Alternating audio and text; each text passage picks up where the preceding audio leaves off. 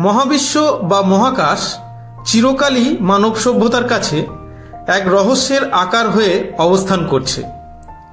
আর তাই সারা পৃথিবীর একাধিক দেশ, একাধিক উপগ্রহ বারংবার পাঠাচ্ছে মহাকাশের উদ্দেশ্যে।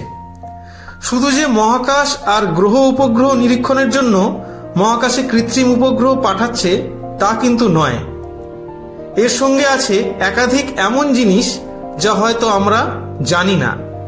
আর সেই সবের জন্যই চলছে নিরন্তর গবেষণা। আমাদের মিল্কি ওয়ে গ্যালাক্সি নিয়ে একাধিক বিষয়ে গবেষণা চলছে। এর মধ্যে উল্লেখযোগ্য হল ওরিয়ান স্পার। এই ওরিয়ান স্পার হল একটি লোকেশন। এখানে গ্যালাক্সি সবসময় চলমান।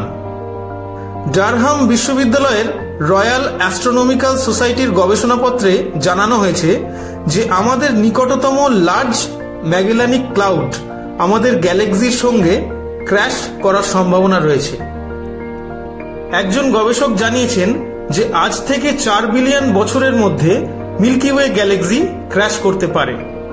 তিনি এও জানান যে এই ধরনের ক্র্যাশ হলে তা পৃথিবীর জন্য বিপজ্জনক হতে পারে।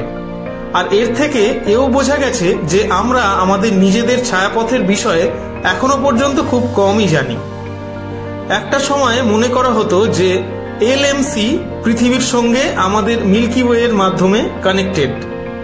তবে আবারও বিজ্ঞানী কটন জানান যে যদি সত্যি তাই হতো, তবে এলএমসি সত্যি কিছু না করেই কয়েক লক্ষ বিলিয়ন বছর ধরে মিল্কি ওয়েকে প্রদক্ষিণ করবে।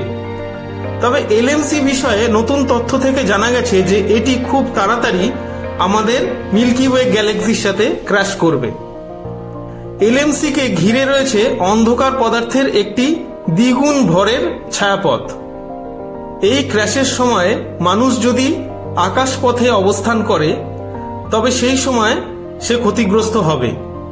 বিজ্ঞানী কটন এও বলেছেন যে এই ক্র্যাশ ডিরেক্টলি সোলার সিস্টেমে এফেক্ট করবে না, তবে এটি দ্বিতীয় কাজ হিসেবে জীবন নাশ করতে পারে।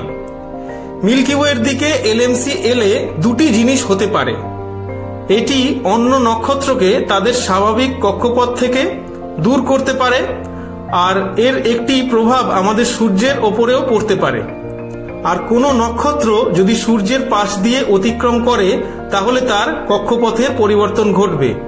তবে একটা কথা বলে রাখা দরকার এখানে, যে গ্যালাক্সিগুলি প্রায় একে অপরের সঙ্গে ক্র্যাশ করে।